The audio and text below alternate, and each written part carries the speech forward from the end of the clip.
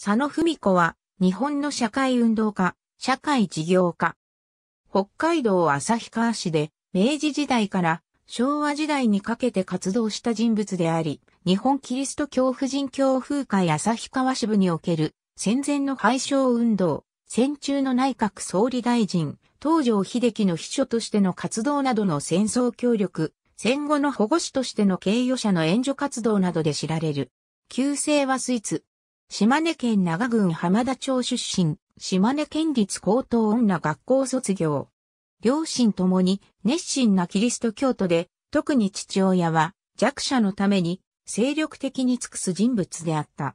そうした環境のもとで文子は強い正義感と独立心を持つ女性として育った。しかし父はその性格が災いし、知人の借金の保証人となったことで破産。1909年に長女の嫁ぎ先を頼り、一家揃って北海道旭川市へ転居した。旭川の地で文子は、上川尋常小学校の教員を経て、7歳上の牧場経営者の佐野慶次郎と知り合い、間もなく1912年に結婚。教職を辞して家庭に入り、新婚生活を営んだ。子供には恵まれず、夫の妹が幼い女児を残して死去したことから、その女児を養女として引き取った。この頃より弱者をいたわらずにいられない父譲りの性格は現れており、防寒着なしで玄関の冬を過ごす近隣の小学生たちのために和裁の仕事で貯めた金を小学校に寄付するなどしていた。1915年、夫婦ともに受選してキリスト教徒となった。教風会にも入会したものの、この時期には会員としての活動はほとんどなかった。夫は広大な牧場の土地を持つ有能な実業家であった。しかし1921年、夫の知人が単独に離婚、友情に熱い夫が感染の危険も顧みずに、知人を見舞ったことで、自身も単独に離婚し、同年に36歳で死去。結婚生活と実業家婦人としてのは生活は10年にも満たずに終わった。夫の死が人生の転機となり、佐野は積極的に強風会の活動に取り組み始めた。1923年には女性宣教師のアイダ・ゲップ・ティアソンの後を継いで、強風会旭川支部の支部長となった。折しも日本は大正デモクラシーの最中であり、女性の社会進出につれ、職業を持つ女性たちへの理解度がまだ少ない時代にあって、女性たちの悩みは深刻なものであった。また、1923年の関東大震災の後、多くの人々が生活の場を求めて、北海道にやってきていたことも、職業を持つ女性の増加、女性に関する問題の表面化の一因になっていた。強風会は、女性解放と職業を持つ女性の応援を、設立趣旨の一つに掲げていたことから、託児所設立の活動が開始され、佐野はその先頭となって働いた。佐野らの熱心な活動が行政を動かした末、1924年、旭川愛知園が設立された。佐野は愛知園の園長を自ら務め、1日4千という当時としては奉仕的な保育料で子供を預かった。また、母の会を結成することで、子供を持つ親同士の意見交換や講演会の場を設け、女性たちが安心して仕事に就けるよう支援を続けた。日本赤十字社北海道支部第7班救護看護婦の一人は、看護婦となる以前の1925年にこの愛知園に勤務しており、乳児から幼児まで50人近い子供が収容されていたことを後に証言している。愛知園の設立翌年、佐野は病気のために園長を辞任した。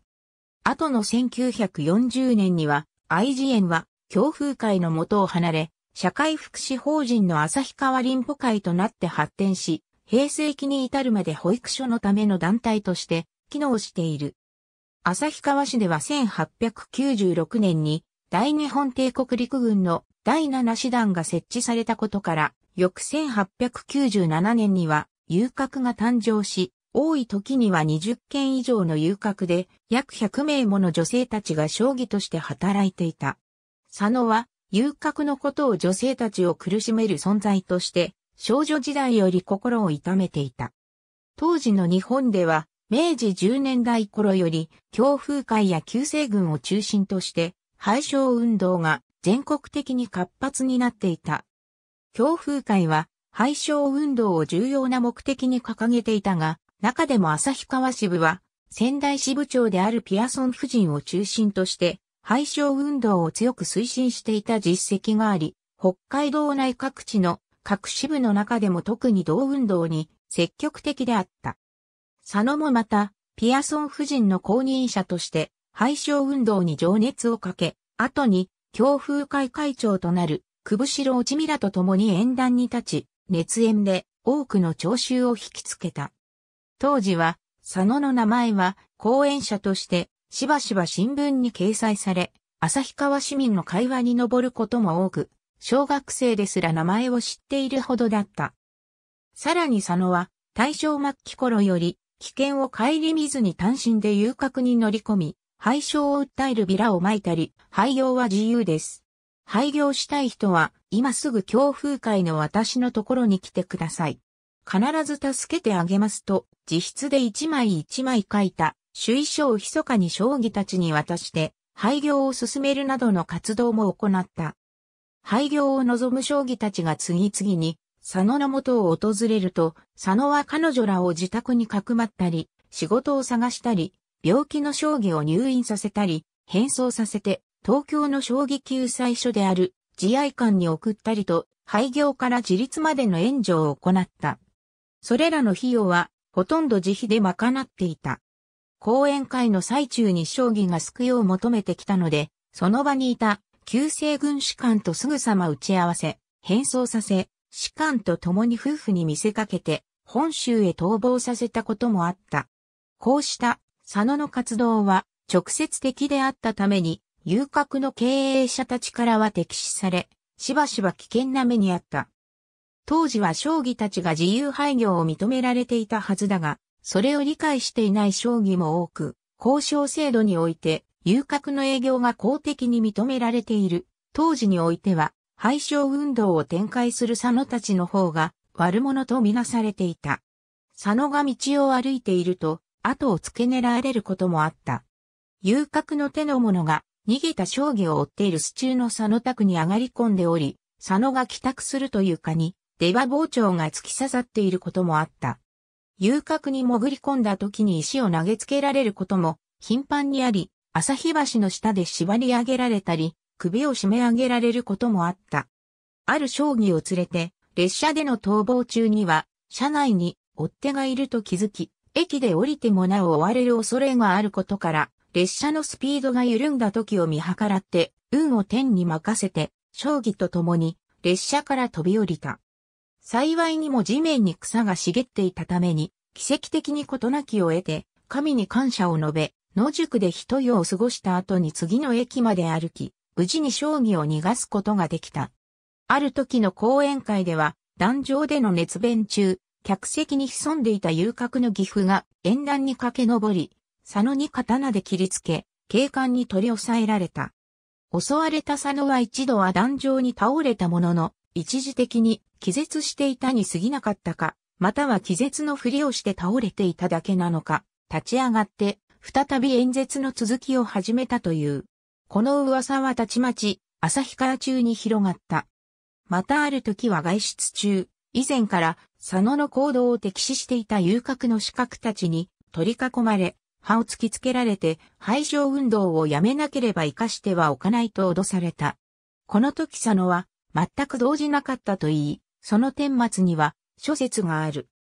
佐野には、強風会の会員、教会、旧西軍と多くの協力者がいたほか、その命がけの行動が多くの人々の心を動かしたことで、一般市民の中からも運動の支援を申し出る者が現れ始めていた。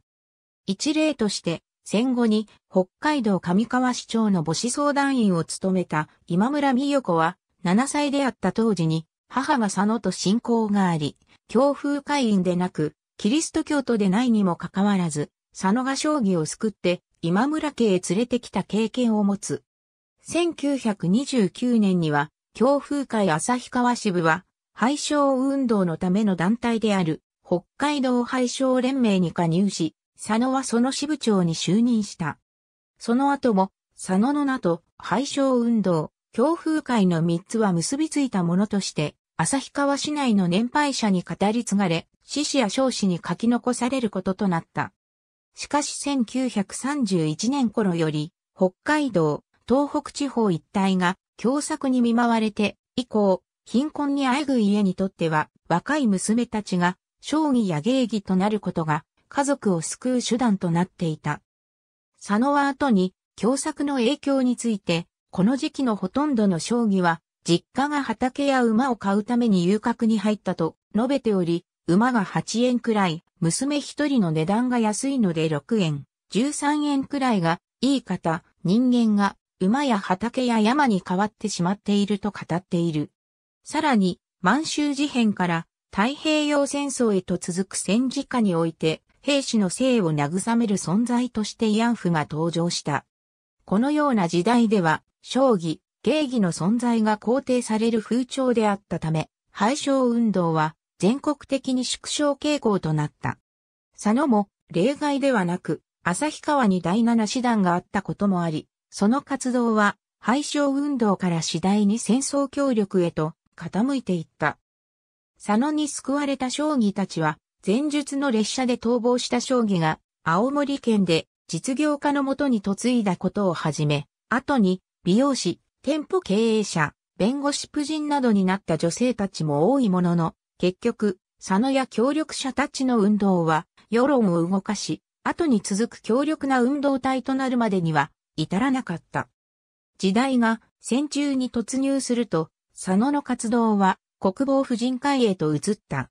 1933年には旭川国防婦人会の設立に尽力し、その副理事長に就任した。国防婦人会設立は北海道内では初、道庁所在地である札幌市に先駆けてのことであり、全国的に見ても大阪市に次いで2番目である。国防婦人会において強い指導力と行動力で頭角を表した佐野は、設立から5年後の1938年には支部長に就任し、この年には会員数は1万人以上に達した。戦争が激しさを増す中、佐野は支部長として指導力を発揮し、軍との協力体制を強めつつ、多数の会員たちをまとめた。これ以降の佐野は徐々に強風会の活動から離れ、国防婦人会の活動に打ち込み、慰問袋の制作、出征兵士の送迎、兵士を送り出して、留守となった家族の相談相手、国防訓練、傷病兵の慰問、戦死者たちの遺骨の出迎え、その遺族の慰問などに明け暮れた。後の幼女の証言によれば、佐野は、こうした活動のためにほとんど自宅におらず、泊まり込むことも頻繁にあったという。さらに、佐野の活動は日本国内にとどまらず、1940年には北海道及び樺太の国防婦人会会員約60万人の代表として満州の国防婦人会から招待され、同地を親善のために訪問した。同年には野門藩の激戦地で兵士たちの慰問と戦死者の慰霊を行った。佐野のこの活躍により、旭川国防婦人会は日本全国に知られるようになった。その一方では、学士や生活に苦しむ学生たちに対し、資材を投げ打って援助を行った。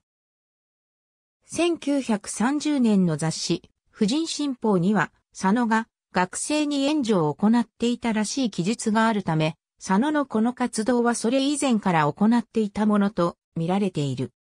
旭川市内では佐野の活動がよく知られており、苦学する学生側に対して学校側が佐野に相談するよう進めることが多く、そうした学生たちに佐野は無条件で援助を行っていた。そのため、亡き夫は、後の生活が心配ないほどの豊かな財産を残していたにもかかわらず、そのほとんどをこの時期に使い果たしてしまった。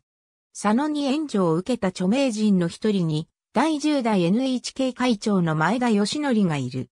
前田は、小学生時代振動と呼ばれるほど明晰な頭脳の持ち主であったが、家庭の経済的な事情により、上級学校への進学が困難であった。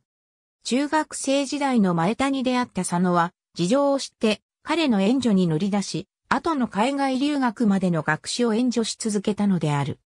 1935年には、旭川市の功労者として、蘭寿宝賞、翌1936年には、根寿宝賞を受賞した。1941年当時の東条家。右、東条秀樹。左、妻の勝子。中央は、孫の優子。1941年には、当時の内閣総理大臣である、東条秀樹の施設秘書に任命された。はっきりとした経緯は確認されていないが、東条の妻の東条勝子が内閣総理大臣夫人として会合などで家を空けることが多く、東条は以前から妻に代わって家を任せられる人材を求めていた。そんな折、東条が旭川を訪れた際に、佐野を知り、その指導者としての才能や性格、さらに佐野の幼女がすでに結婚していたことで、佐野が容易に東条家に住み込みできることから秘書に任命されたものとみられている。戦中の軍の命令は絶対ということもあり、佐野は東京都世田谷区洋画の東条家に住み込み、秘書兼家庭教師として東条勝子、その子供たち、孫たちと共に生活し、勝子の手紙の代筆、子供の世話や教育、勝子の相談相手など、様々な仕事をこなし、東条からも佐野先生と呼ばれた。この佐野の東条家での生活は、戦中当時の窮屈な生活の中、ほがらかな話題を人々に振りまいた。ただし、首相の家とはいえ、国策に沿って、食事は麦の混じった玄米であるなど、住居も生活も非常に質素だった。東条家での生活は1944年までの短期間であり、秘書の仕事を終えた佐野は、旭川へ帰郷したが、その後も、佐野は、東条家と信仰を続け、子供たちの成長を我がこのように喜んだ。戦後には、東条は永久戦犯として死刑を言い渡されたが、佐野は東条から責任がなく自由に発言できるようにという配慮により、正式な秘書とはされていなかったため、何ら罰を受けることはなかった。その後も、佐野は東条家の依頼により、勝子の着物を売るなどして、残された東条家の家族を必死に守り抜き、食料の確保や家族の生命の安全に奔走した。人目を避けて暮らす勝子を旭川へ招いてお忍びの旅行を楽しませたこともあった。戦前には天皇の神格化を否定するキリスト教徒として強風会の活動や廃省運動に精力的に取り組んでいた佐野が戦中には戦争協力に傾いて愛国者とも言える活動を行ったことは佐野の生き方にとっては大きな転換と言える。これについては、時代の流れの必然との声のほか、遠い戦地へ旅立つ兵士の見送り、遺族の慰問などといった戦中の活動は、戦前の社会運動と同様、苦しんでいる者をいたわらずにいられない、佐野の優しさから現れた行動に変わりないと見る向きもある。戦後、北海道富良野町の名取正により、戦災孤児を日本の女性たちが救うべきとの投稿が新聞紙上に掲載された。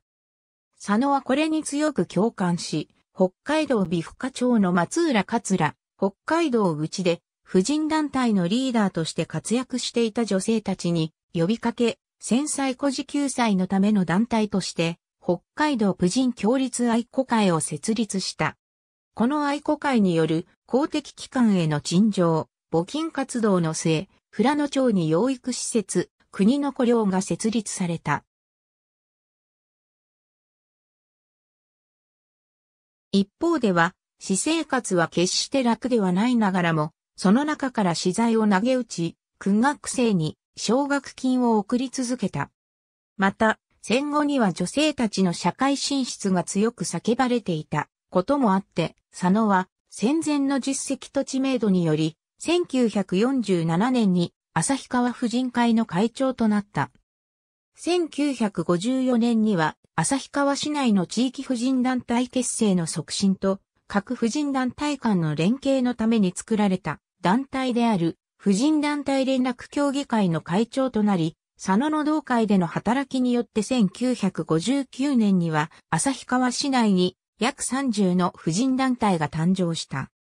1952年には戦争未亡人、戦災孤児をはじめとする生活区の母子家庭への対策として母子相談員制度が制定され、各地に母子相談員が置かれるようになり、佐野は翌1953年に北海道知事により旭川市の初代の母子相談員に任命された。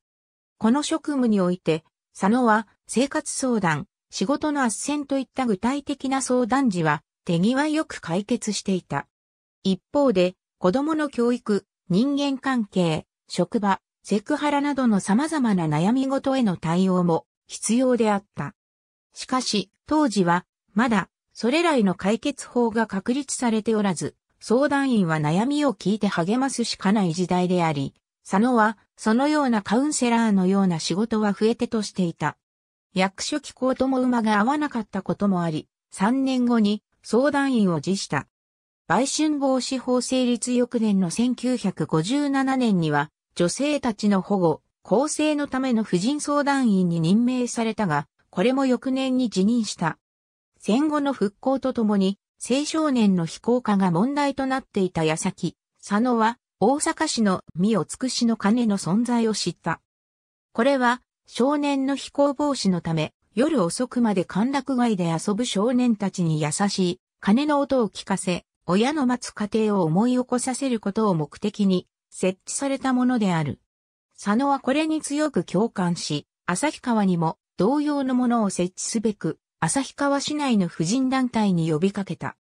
これにより、母の金設立規制会が結成され、一般市民からも大きな協力が得られ、寄付により目標額を上回る約90万円が集められた。この寄付をもとに母の金が完成し、1956年の母の日で、ある5月12日、初めて鐘の音が響いた。この成功には、NHK 旭川放送局の局員の協力や一般公募で選ばれた母の鐘の歌がこれを盛り上げるなど、旭川全市を挙げての協力が大きかった。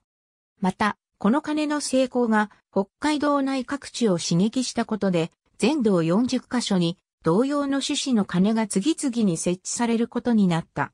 1956年には、佐野は保護士に任命された。この保護士の職務、特に経営者の援助活動は、佐野が戦後の社会運動の中で最も力を入れたものである。佐野は刑務所の特殊面接員を担当しているうちに、犯罪や非行に陥った人々が不幸な境遇のために構成の困難なことを知り、そうした人々を母親としての愛情で救おうと考え、婦人保護士、保護士婦人、元国防婦人会会員、元愛国婦人会会員らに呼びかけ、1957年、旭川厚生婦人会を結成。刑務所の出所者たちに布団や衣類を送り、一人一人、面接して事情を聞き、旅費のないもの、病気で、西洋の必要なものには、金銭的援助をするなど、個々の事情に応じた、細かな対応を心がけた。この旭川厚生婦人会ははじめこそ、会費100円、会員、約200名であったが、佐野の強い呼びかけにより会員は増え続け、1966年には会員約4000人に上る大団体となった。この他にも多数の公職、団体の理事、会長などを歴任した。後の文献で確認できる主なものだけでも、司法保護委員、刑務所特殊面接員、社会福祉協議会婦人部長、家事調停委員、厚生保護婦人会長、青少年問題協議会委員、社会教育委員、日本放送協会北海道、地方放送番組審議会委員など30以上に上り、その大半は社会福祉関係の奉仕的活動である。佐野は、こうした数々の職務に押されることを拒まず、むしろ望んでおり、周囲もそうした佐野に頼っていた。戦後の佐野の活動は、戦前を上回る目覚ましいものであった。出身地から離れた町で暮らしている上、すでに幼女も結婚しており、身内のほとんどいない土地で親族のしがらみや、家庭の束縛から解放されていることで、佐野は思うがままに生きることができたとも考えられている。戦中同様に戦後の活動は、強風界から離れたものであったが、弱者に目を向けた活動は、戦前同様であった。こうした業績により、昭和20年代から昭和40年代にかけ、1957年の法務大臣表彰や1966年の厚生大臣感謝状を含め、多くの団体や公的機関から表彰を受けた。その大半は、経与者の公正保護に尽くしたことによるものである。1965年には、社会福祉に対する奉仕と実績を認められ、訓後東方官賞を受賞した。旭川赤十字病院76歳の時、白内障で入院。この後は徐々に心を病み始めた。行方がわからなくなったかと思えば、姿を現した時には、駅で兵隊さんを見送っていたと、あたかも戦中のように誇らしげに答えたこともあった。やがてアルツハイマー型認知症と診断され、旭川赤十字病院精神科に入院した。病床での様子はそれまでの除血ぶりとは別人のようだったといい、前述の今村美代子は幼女のように無邪気に苦を感じることもなく病院のベッドの上で数年を過ごしたのは神様がこの世の激しい戦いから解放し最後の休養を与えてくださったのかと語っている。薬局経営者のもとへと継いでいた幼女が1978年9月に見舞った際には回復の兆しも見られたものの、それから約1週間後、幼女に見取られつつ死去。没年齢84歳。夫との死別後は多くの再婚話があったものの、亡き夫への愛を貫き続け、未亡人のまま生涯を終えた。葬儀は、旭川市社会福祉協議会葬として行われ、多くの人々が参列した。北海タイムス社による人物伝、旭川90年の100人では、90年に及ぶ長い獅子に登場する女性活動家の中で、この一生を最も美しく、そして誰よりも人間らしく生き抜いたのは廃症運動に受刑者の公正保護に持ち得る限りの全員エネルギーを注いだ佐野文子を置いて他にはいないだろうと評価されている。北海道の郷土視野である村上久義は旭川30万の市民に最も親しまれ、尊敬され、ある意味では全道的であり、全国的とも言える名高い夫人と評価している。旭川市社会福祉協議会の常務理事である天野裕二は男性社会が根強い中で、佐野は女性の社会参加が必須であると考えたと指摘しており、ジャンヌ・ダルクのように茨の道を歩み、女性が地域の中核を担うための意識改革に力を注いだと称賛した。戦前の託児所設立などの女性たちへの支援については、北海道市に詳しい女性史研究家の星玲子が、働く女性の支援は、強風会本部の方針ではあったけれど、それを旭川で実現させたのは、やはり文子の情熱と実行力、それに先見性の賜物と述べている。廃省運動については、同運動に関する大規模の団体が創設されていた本州地方に比較すれば、北海道の運動はさほど大きかったわけではないが、そうした中でも、ピアソン夫人と佐野は北海道でも際立った廃省運動家として評価されている。